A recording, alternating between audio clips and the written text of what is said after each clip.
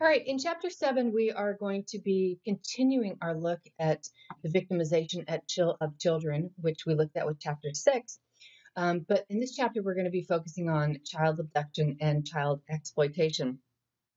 As we learned in chapter six, when we looked at child abuse and neglect, um, most of that type of victimization is at the hands of parents, guardians, or other family members. And that type of victimization is far more common um, here in the United States than child uh, abduction or exploitation.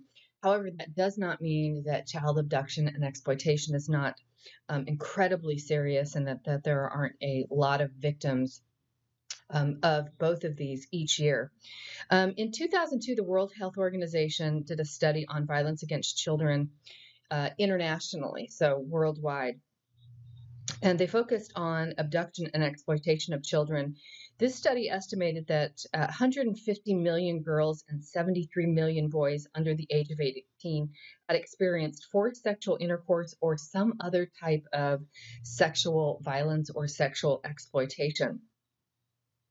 Um, a large number of uh, children in that particular study were found to be forced to work in the sex trade. UNICEF uh, did a study uh, in 2010 that was looking at child exploitation here in the United States because we don't want to think that we are exempt from that here in the United States, that exploitation of children doesn't happen here. Um, so, this study in 2010 found that at least 100,000 children are involved in commercial sex exploitation here in the United States. A similar study by the Department of Labor uh, that was also that was done in 1999 also found that about 100,000 children um, were working as prostitutes here in the United States. An estimated 14,000 to 17,000 foreign nationals are trafficked into the United States each year, and a number of U.S. citizens are trafficked within the United States. Um, estimating that about 200,000 American children are at risk for, tra- for uh, sex trafficking uh, into the sex industry. UNICEF estimates that 1.2 million children are trafficked worldwide um, for sexual exploitation. So, the scope of the problem, as you can tell from those numbers, is very high, and we are not exempt here in the United States from exploitation. Um, based on that study that was done in 2002, the World Health Organization um, created seven strategies that they help could reduce violence against children. And these are very lofty goals as you read through these. Um, you'll see that this could be, you know, very difficult to reach all of these families, to identify families, first of all, that who are at risk at risk for exploiting their children, um, and um, you know, ensuring that the families get the um, the resources that they need and the children get the uh, resources and protection that they need. So their seven strategies were implement, implementing and enforcing laws limiting young people's access to firearms and other ep- other weapons, and then also criminalizing parents for violently punishing their children. That's a little difficult here in the United States because corporal punishment is legal here in the United States. It is uh, illegal in most EU nations changing beliefs and behaviors around gender roles, ensuring safe environments by improving home environments, providing parent and caregiver support, increasing incomes, providing support and treatment programs for juvenile offenders, providing education and life skills to improve children's life and social skills. So, again, very lofty goals, but we can, you know, kind of understand the difficulty in financing these kind of programs, identifying the families who are at risk, and ensuring that they get the resources that they need. All right, when it comes to child abductions, NISMART is a uh, a national incidence study of missing, abduction, runaway, and throw, throwaway children that does studies on um, kids who have been abducted, kids who have run away, kids who are thrown away. By the way, running away, we all know what that means. That means leaving home. When, when they do studies on runaways, the vast majority of children that run away from home are running away from abusive situations. Thrown away children means uh, a child has been um, kicked out of the house for various reasons. Um, so NISMART does a lot of different studies under the uh, the Department of Justice. Here's one example of a study that was done by NISMART, um, and you can see that it is 12 pages long. It has lots of great information, um, but this uh, this is just an example of some of the statistics on um, on abductions and missing children. So non-family abductions. 33,000. Um, and by the way, when we're talking about child abductions, uh, the vast majority of child abductions here in the United States are by family members. Typically, they are non custodial family uh, parents. But when we talk about non uh, family, which we'll talk about why those are so dangerous in a minute, um, 33,000, family abductions, 117,000, runaway and thrown away children, 628,000. Um, so those are just some of the uh, examples of some of the statistics that the NISMART studies have had. The NISMART 2, this was um, one of the studies that were done, estimated that in 1999, 1.6 million children in the United States had uh, had experienced at least one episode of either running away or being kicked out of the house. Um, we don't know the number of them that were allowed back in, but they had experienced that at least once.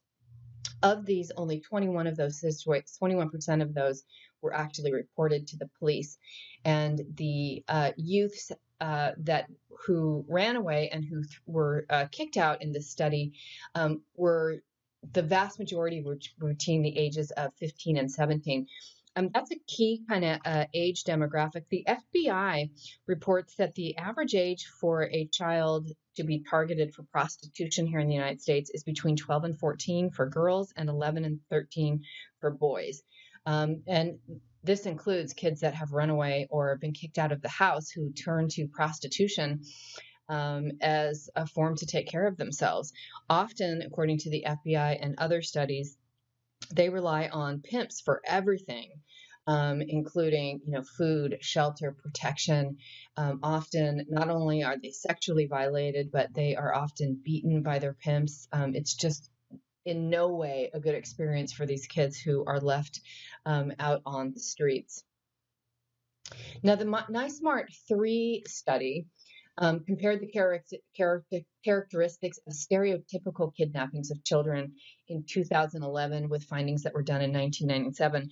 Now, when we talk about stereotypical kidnappings, these are abductions in which a slight acquaintance or a stranger moves a child at least 20 feet or holds the child for at least an hour.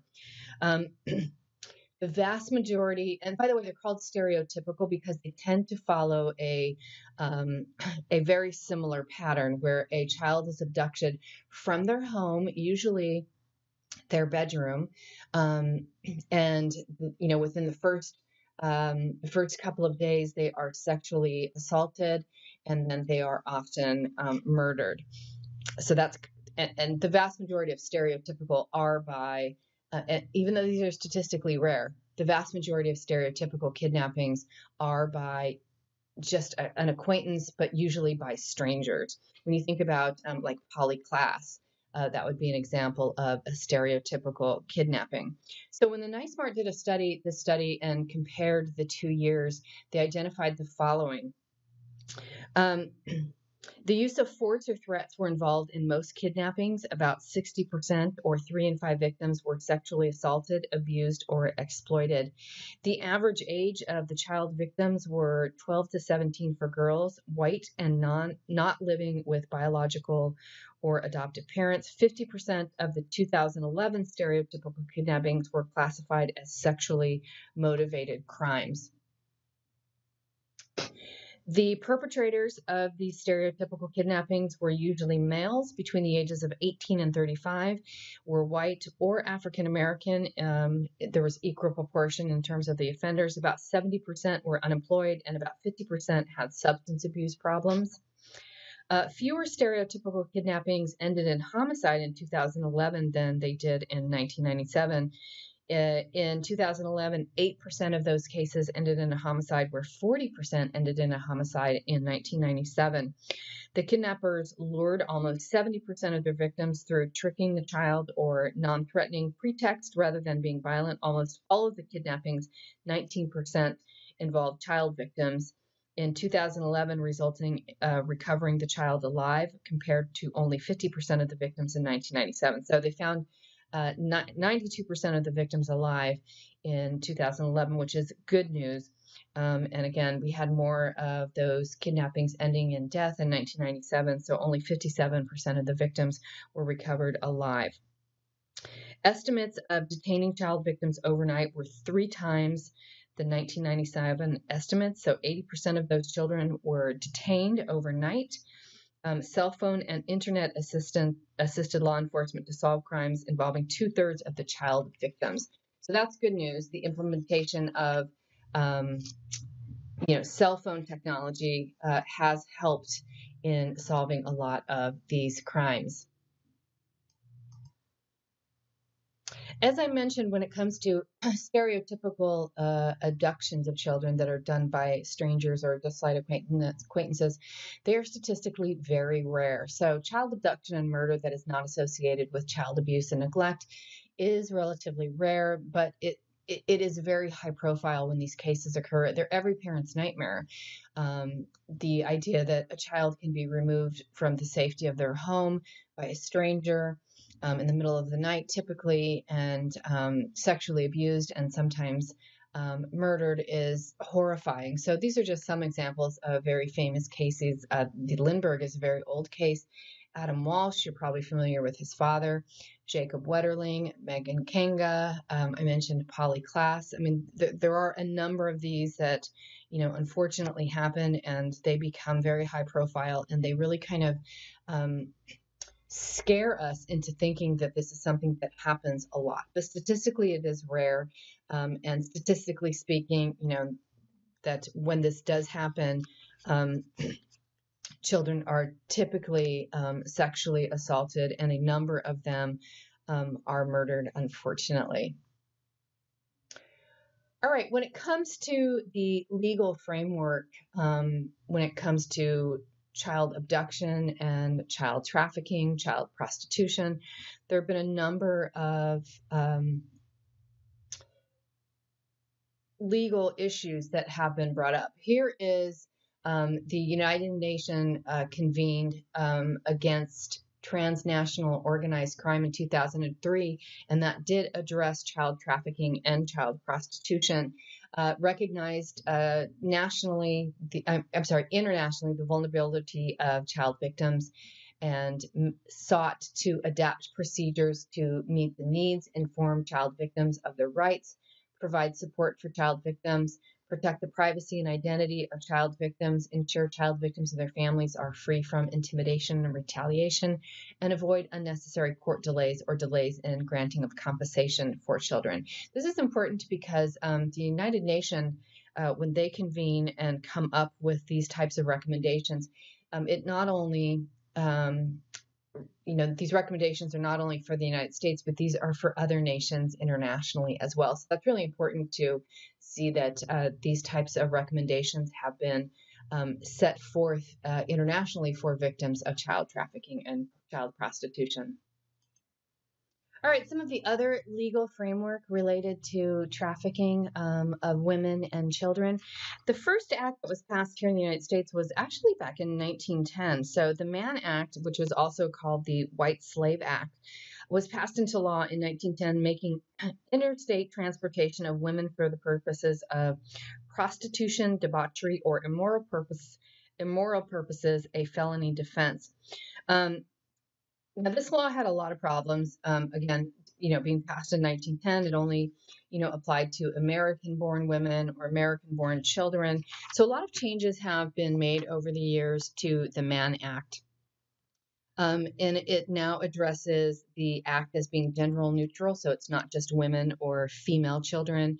Uh, it increases the focus on juveniles, uh, addresses issues of child pornography, international trafficking as well. So um, that was kind of the first act. It's been changed over the years. We also have from 2000 the Trafficking Victims Protection Act. Um, this was um, enacted to prosecute traffickers as a better way to protect victims in the United States. This act reauthorized uh, was reauthorized in 2003, 2005, and 2008, each time um, enhancing, enhancing and strengthening the law. Um, so this is to help ensure that um, traffickers are prosecuted to the maximum potential. In 2015, we had the Justice for Victims Trafficking Act passed. This is a federal law that deals with human trafficking as well as several additional um, features. This particular law addresses and expands the federal response to trafficking into four important areas. Number one, victims and uh, benefits for service, um, sorry, services and benefits for victims, uh, the criminal justice response, sex, sex trafficking of children within the United States, and interagency coordination and training between the various agencies here in the United States to make sure that everybody is working together to ensure that um, sex trafficking um, is investigated, prosecuted, and that victims are given all of the uh, resources that they need. Infant abduction is the taking of a fetus or the infant under the age of six months by a non family member. Um, statistically, it's actually very rare. Um, a total of 317 infants were abducted from 1965 to uh, between 1965 and 2017. Of those, 15 are still missing. 72 um, uh, 72, and that's 22% of the cases involved violence. The mother died in 36% of those cases, and in nine of the cases, um, the infant died. Now, fetal abduction, this is statistically very rare, and the first case of fetal abduction was reported um, in 1987. In this particular case, um, a woman named Darci Pierce, who was 19 and married approached a pregnant woman as she left a um, a clinic in an, uh, near an Air Force base in Albuquerque, New Mexico, using a fake gun. She forced the woman um, initially to her house, but ended up out in a field where she strangled the woman until she went unconscious, and then used car keys to remove the fetus from the pregnant mother. Of course, the mother passed away um, but uh, Pierce was eventually found guilty but mentally ill and received a 30 year prison sentence. So this is pretty rare, but it is um, a new a cesarean, section murder is a new category of personal cause homicide. Um, the vast majority um, of people who abduct infants are women between the ages of 12 and 50. And they often are overweight. They've often told people that they are pregnant, um, even though they're not. Um, they indicate to the victim that they've lost a baby or can't have a baby um, to try to befriend them. They live in uh, they are they live in the community where the abduction occurs. They usually um, are keeping an eye on maternity units or nurseries or doctor's offices to keep an eye out for a pregnant woman um, or a hospital where infants are born, checking the security to see if they can remove the baby without anybody knowing. They're often married or living with a man who uh, assumes that they are actually pregnant. And then when they show up with the baby, um, they say that the baby is theirs.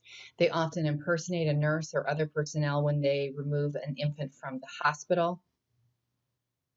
All right, when it comes to missing children, um, and these are children where we don't know where they are, um, their parents don't know where they are, their guardians or legal custodians don't know where they are. It includes two categories those who are taken in either uh, uh, by either a family member or in those non-family stereotypical abductions that we talk about, talked about, or those who are uh, have run away, who are thrown away, kicked out by a parent or guardian, but they don't know where, but the parent or guardian don't know don't know where they are, or are just somehow missing. So it just means that uh, people don't know where they are. People that are supposed to know don't know where they are. Profile of parental abductions. Remember, I told you that the vast majority of children who are abducted are abducted by a non custodial parent. So, either parent, um, it's usually one that doesn't have custody. Males and female children are equally likely to be abducted. Mothers are more likely to abduct after a court order where the father gets custody. Fathers are more likely to abduct before a court order. So, before that, because a lot of fathers feel that uh, courts are always, uh, are often um, more favorable towards the mother, so they're less likely to get custody. So fathers are more likely to abduct a child before there's actually a court order. Um, fathers who abduct are more likely to be employed. Mothers who abduct are more likely to be unemployed. Most children taken are between the ages of three and seven years of age. Most are not hurt, by the way, um, and uh, communication usually occurs between the abducted parent and the searching parent at some point, not always.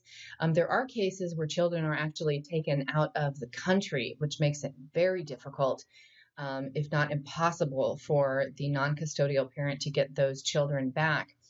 Um, accomplices, usually other family members or friends, are used in half of the cases. Um, and in most cases, um, the issues are resolved within a week, but there are cases where um, parents, non custodial parents, are searching for years for their children and where they know sometimes where they are overseas and they are unable to um, to resolve it because uh, overseas authorities are not working with the authorities here in the United States. All right, categories of non familial child abductors. So these would be those stereotypical killings that we talked about. The FBI has um, created four categories of non family member uh, child abductors, um, and this was created in 2010. Pedophiles. Uh, this is the largest uh, single category of non familial child abductors. These individuals are able to connect easily with the children and obtain their confidence when um, which makes the child vulnerable to abduction.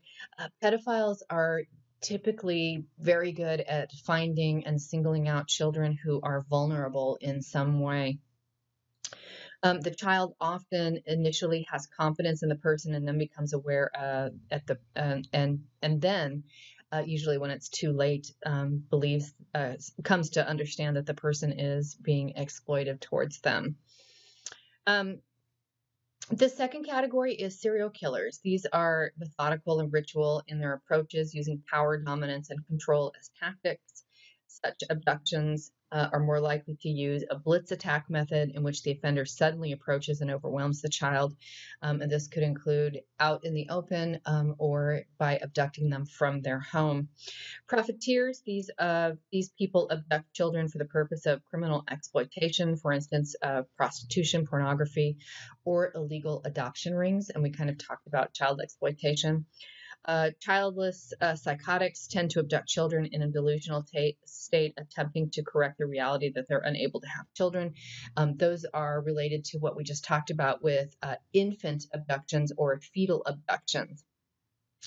Um, the Smart one study that, uh, that remember NISMART I told you is uh, studies under the U.S. Department of Justice. Uh, the Smart one study indicated that more than 65 percent of children abducted by non-family members are girls. Um, and of these, 46% are sexually abused and 31% are physically abused. 75% of the cases, the perpetrator is male. 67% of those males are under the age of 29, and most target children within their own ethnic group. Other types of missing children, I already told you what runaway children are and throwaway children.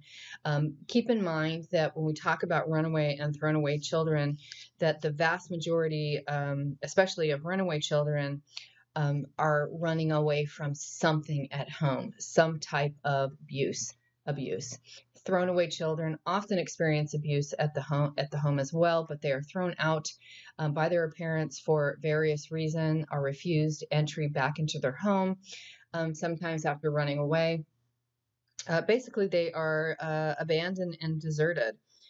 So uh, the distinction between runaways and throwaways is not entirely clear because a lot of kids that run away initially and then try to come back home and they're not allowed to come back. So they actually, you know, would technically be both runaway and thrown away children. The NISMART 2 study that was done in 2003 estimated that in 99 uh, 1999, again, there were 1.6 million children in the United States who um, had at least one of those episodes. So this is definitely something, and this tends to be older kids, by the way. Runaway and throwaway children tend to be a little bit older. Amber Alert. Um, you're probably familiar with Amber Alerts. Uh, this is the um, America's Missing Broadcast Emergency Response, and it was created in 1996 after the abduction of a nine year old in Texas named Amber Hagerman. Um, the purpose of the Amber Alert is to develop an early warning system between law enforcement agencies, broadcasters, transportation agencies, and the public to alert um, everybody, public and law enforcement, that a child has uh, been abducted. Each uh, each state, all 50 states now uh, have implemented the system. Uh, as of June 2017, 881 successful recoveries have been reported as a result of these alerts. So when a child goes missing um, and somebody contacts law enforcement, an Amber Alert is issued after certain criteria have been met. Um, the abduction has to be confirmed by law enforcement. The child has to be at risk of injury or death. Law enforcement needs to have information about the child, and the child has to be less than 17 years of age. You've probably noticed that you get Amber Alerts on your phone. If you don't turn those alerts off, they will come through automatically on smartphones. You've also probably noticed that uh, there are Amber Alerts on um, uh, traffic signs that we have now. We have electronic traffic signs, and so you'll see Amber Alerts issued up there. And of course, they will also be on um, local news, uh, usually statewide. So if a, ch- if a child is uh, abducted in, you know, let's say uh, South Georgia, the Amber Alert will go all through the state of Georgia and even regionally into neighboring um, states as well. But you'll definitely see it in the state that is uh, that the child is abducted in. Child labor. Um, forms of child labor include indentured, uh, indentured servitude, uh, child slavery, and these have existed throughout history. Uh, you know, we talked in a previous chapter how, um, you know, our our view of children has really changed since the 1930s and 1940s, since we kind of recognized um, childhood as a separate uh, stage of development where children needed protection even today in the 21st century in parts of uh, in other parts of the world including places like peru uh, children are working um, and they're part of the economy. So children you know here in the united states we have very strict labor laws that apply to children um, and children you know can only work after a certain age and only certain hours of the day. But you know before we had all these labor laws um, children were viewed as um, you know, able to work. They were cheaper to employ than adults, less likely to strike, better, better able to perform some of the work requirements that required little hands. Um, but again, with all of the changes that started happening on our view of children in the 1930s and 1940s, um, we did have we do now see childhood as a separate um, separate stage of development than adulthood, and we now have um, labor laws in place that protect children. The Fair Labor Standards Act was passed in 1938, which set standards, federal standards for child labor. Child trafficking. In uh, 2000, the United Nations General Assembly adopted the protocol to prevent, suppress, and punish uh, child trafficking in uh, persons, especially women and children. Um, the United Nations Office of Drug and Crime addresses human trafficking issues through its global program against trafficking in persons. Um, I think we have kind of an, an idea, you know, here in the United States that child trafficking is not something that we need to worry about here in the United States, but um, as I mentioned earlier in this lecture, the statistics show that children are trafficked not only um, you know, worldwide, but here in the United States as well. And the fact that, uh, you know, a, an organization that addresses all nations, like the United Nations, has adopted some of these uh, statutes and protocols really drives home the importance of this issue. Um, it's usually a transnational criminal enterprise that recognizes neither boundaries nor borders. Um, they often take children from one nation and traffic them into another tra- uh, nation. Uh, usually, child traffickers are linked to other criminal activities, um, money laundering, uh, smuggling migrants. Uh, document fraud. Children are recruited and trafficked to earn money by begging, selling goods, also um, child exploitation. Table 7.3 on page 264 of your textbook shows the various types of child trafficking, infant adoption. Um, this is generally when infants are um, uh, taken and then put up for adoption. Uh, UNICEF in 2010 estimated that 1,000 to 1,500 Guatemalan infants are trafficked each year. Now, some of these parents in some countries actually give up their children for financial gain, and some are abducted. Mail order brides as young as age, age 13, um, mainly from Asia and Eastern Europe. Um, a lot of the former Soviet Union com- uh, countries. UNICEF in 2010 states these girls and women are powerless, isolated, and a great risk for violence. Domestic work and sexual exploitation. A large number of children are trafficked in West and Central Africa.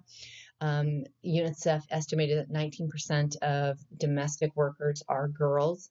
So these would be uh, young girls and young women who are um, used for um, domestic services that can include cleaning people's houses, um, taking care of people's children, child sex workers. Um, a survey indicated that 30 to 35 percent of all sex workers are between the ages of 12 and 17, and the global market of sex trafficking is over a 12 billion dollar a year business, with over again 1.2 million child victims child prostitution and child pornography. So, this is using children again for sex work and for pornography. And a lot of this pornography, now that we have the internet, is put on the internet. And um, law enforcement has a real difficult time trying to track where these images are coming from. Uh, forced child labor and then child soldiers. And these are chi- children in um, like the Congo and Rwanda who are forced to engage in um, in using guns and being soldiers for uh, for some of the violence that's going on in these countries, and there's not a lot of protection um, for these children with this type of trafficking. All right, when we talk about child prostitution, um, so we're talking about children that are, you know, either forced into prostitution um, by people that abduct them or who turn to prostitution as a way to um, to take care of themselves if they've been forced out of the house um, in some way. Um, some of the avenues to child prostitution, parents as role models, parental incest, chaotic, abusive, sexualized home environments. This is where we would find a lot of those runaway kids. Um, who end up living on the streets and engage in prostitution as a means to take care of themselves. Child sex rings. Um, these would be uh, uh, typically with some type of child trafficking, trafficking and sibling incest. Now, there have been a lot of typologies created on both those who um, engage in sexual offenses against adults, typically females, um, and also in uh, those who engage in child sex offenses. Um, so, first of all, in most cases, uh, Offenders gain sexual access to a child in one of two ways. Number one, by pressuring the child into sexual activity through enticement, encouragement, or instruction. And number two, by forcing the child into sexual activity through threat, intimidation, or physical duress. Now, there's something called grooming, and you've probably heard of grooming when you've heard of some of these cases. Grooming involves um, targeting a child that uh, is somehow at risk. And it has a lot of different uh, stages, uh, but learning about the child's interests and vulnerabilities, gaining access to the child through sports, religion, um, food, alcohol, online computer, you know, enticing the kids with something that they're interested in. Um, molester seeks to fill some type of emotional and physical need. Um, and as they groom the child, like slowly groom the child into trust, um, then they start abusing the child. Uh, the, the, grooming is also called the seduction process, not like we see in adult seduction. We're talking about um, really just kind to identify kids that are vulnerable in some way, befriending them, getting their trust, making that child feel loved and wanted, and then kind of, you know, coercing them into a sexual relationship. So we don't have we do have coerced or forced. So with a coerced uh, uh, a sexual molestation, the offender initially establishes a non-sexual relationship with the child. So there's a lot of grooming that takes place with coerced um, uh, sexual molestation. Um, the pedophiles in this case in these cases uh, are are usually very good at identifying kids who are um, at risk. There's a man named Groth. Uh, Groth, and that's G R O T H. Groth has created a lot of typologies um, with sex offenders for both adults and children, um, and he has this quote from a sex offender I can look at a kids in schoolyard and tell you who is an easy mark. It'll be the child alone and off by himself, the one who appears lonely and has no friends, the quiet kid, the one no one's paying attention to. That's the one that will respond to some attention. So, again, you know, finding kids who are at risk, befriending them, um, enticing them, making them feel wanted, making them feel loved, and then coercing them into a sexual relationship. Um, these type of offenders um, they tend to uh, not have good adult relationships. So they tend to kind of seek out kids um, kind of as companions, really. Um, they feel safe with kids, they feel secure with kids. They, they really can't. Um, they really don't have good adult relationships. Um, and once they gain that trust, um, then they start to kind of coerce the kids into sexual um, behavior. And uh, if that doesn't work, they also can result to some type of force, but there's usually not a lot of um, physical force used or injuries involved in coerced um, encounters, of course, uh, pedophile when they coerce um, children. Now, by contrast, in a forced situation, the offender gains access to the child through some type of intimidation, um, some type of threat, even physical threat, um, they often use weapons. They often threaten the children. The situation is uh, very, you know, similar to what we would um, view as, you know, rape against an adult. So there's usually violence, force, uh, intimidation, and weapons used. We would also tend to see um, more injuries with forced use intimidation in terms of the pedophile. Um, uh, abusing the offender in these situations. Situational, impulsive versus preferential behavioral patterns. In the situational offense, there's evidence of impulsive, opportunistic, or predatory behaviors, such as the victim being present or spur of the moment. Um, situation, situational child molesters do not have a true sexual preference for children, but they tend to engage in abusing children sexually for a variety of reasons. Um, usually um, because the child is available, because they don't have um, appropriate uh, adult partners, because they are stressed, there's something going on in their life. Um, the uh, preferential behavior pattern these are people that tend to prefer again children as companions they tend to not have good adult relationships um, and they choose children um, as as really kind of an, a, a, a, a, person to hang out with, and then um, also as a person that they want to use to gratify their sexual um, their sexual um, impulses, if you will. Um, so situational, more likely to be impulsive, more likely to be one or two times, where preferential is more like a behavior pattern where they tend to prefer kids sexually, they tend to be attracted to kids sexually. These are more the typical pedophile high versus low contact. Um, this is looking at how much contact offenders typically have with uh, children. High contact means they tend to hang out with kids a lot, or they work in a occupation where they are around children, like a teacher. They volunteer.